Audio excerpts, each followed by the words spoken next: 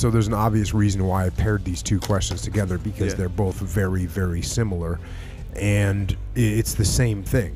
And and, and if we don't, if a member of your team won't come forward and admit they have an issue, then the issue is not going to get addressed. And this is the same exact thing that you have to explain to your team. Like, hey, if you start going down because you're dehydrated or you start getting de uh, getting frostbite and you need to get warmed up, you need to say something. If you don't say something, that's going to hurt the whole team. That's what's bad.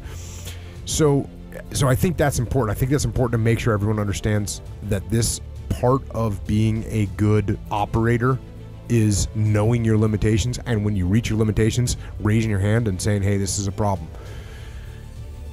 And believe me, th- there's there's guys that might complain about little things and they're eventually going to be labeled as a little complainer, right? And they don't really have issues.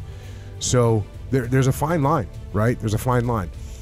But uh, for this one, you know, for someone that's having some kind of mental stress, well, again, we got to recognize what's going on. We got to recognize that it's impacting us negatively at work.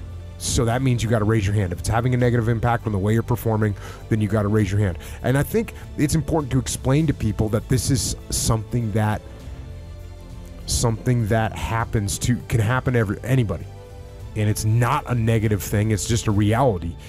It's it's kind of like it reminds me of being afraid, right? And if if if you're let's say you got a new guy that's never done anything before and he doesn't know that he's going to be afraid going on an operation then he's going to wonder why his stomach is upset. Mm-hmm. Or why he's second guessing himself or why he can't sleep. Like oh you can't sleep.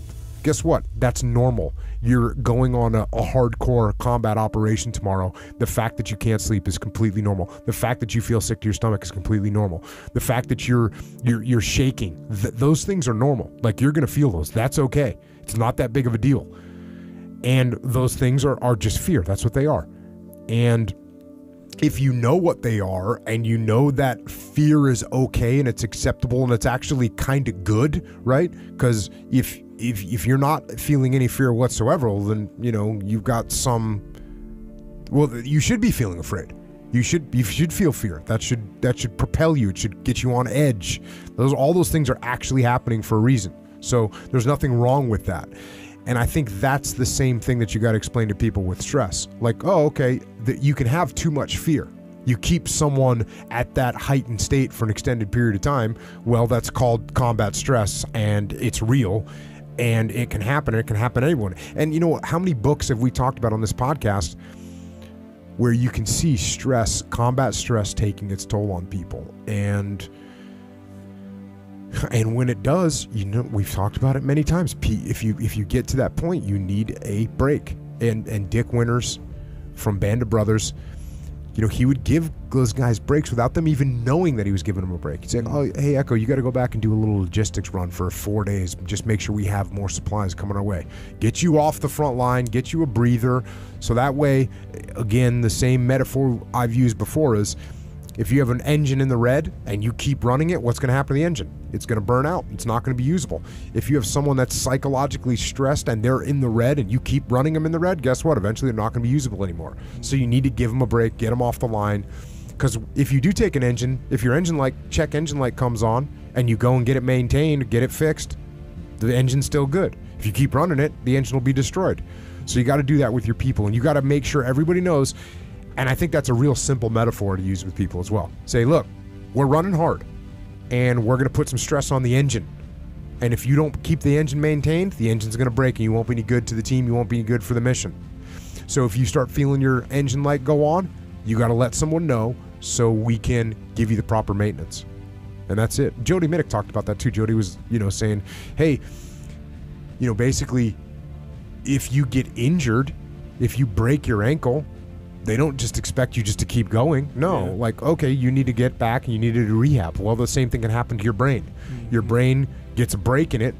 You don't just keep driving her; it's going to fracture and fall apart. Yeah. What do you do? You you take a break, you get downtime, and you get recovered, and then you'll be ready to rock and roll again. Mm. So, g- two really good questions to start it off. You know, again, especially for folks out there on the battlefield, and and, and it's not just for people on the battlefield because it happens with any any group of people that are in a stressful environment. I mean, obviously, cops g- get put into a really stressful environment all the time. Well, if you need to take a breather, you need to say something before you before you burn out the engine. Yeah. Same thing with business world, right? People in the business world get extremely stressed out. Well, you probably need a break at some point. Yeah. Make sure you work that in there. I get a lot of questions. People asking me for help. So I ask them, what have you done to help yourself?